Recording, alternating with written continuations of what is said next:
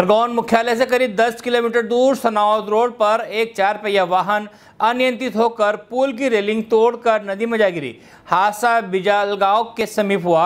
हालाँकि हादसे में किसी के हताहत होने के समाचार नहीं है। कार सवार सभी सुरक्षित बाहर निकल गए। सूचना पर एसपी, एएसपी, एसडीओपी सहित पुलिसकर्मी मौके पर पहुँचे।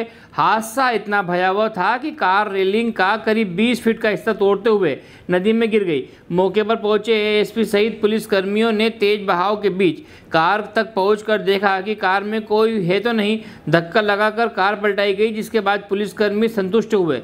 एसपी ने बताया कि कार में दो युवक और दो युवतियाँ सवार होने की जानकारी मिली।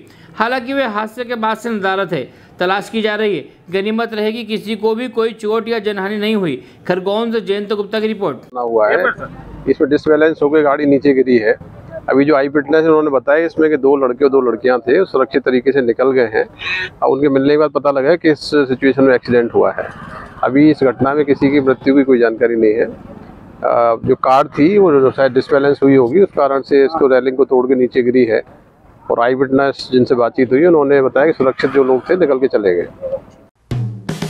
हेलो फ्रेंड्स आप देख रहे हैं हमारा channel S W twenty four news हमारे सारे वीडियो सबसे पहले देखने के लिए आप हमारे चैनल को सब्सक्राइब करें और पास में लगे बेल आइकन को दबाना बिल्कुल भी ना भूलें।